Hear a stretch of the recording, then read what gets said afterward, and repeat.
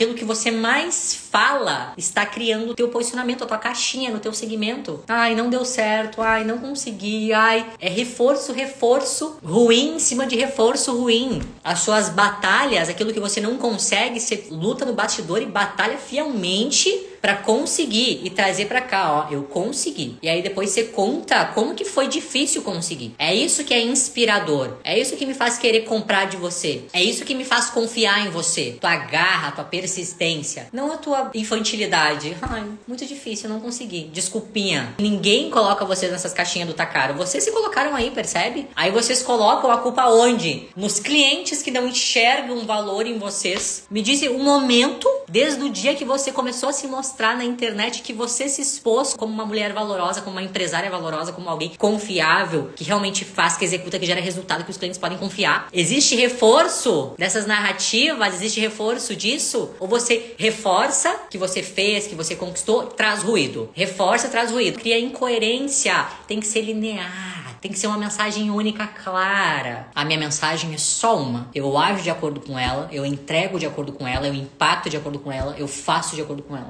Isso é posicionamento de valor.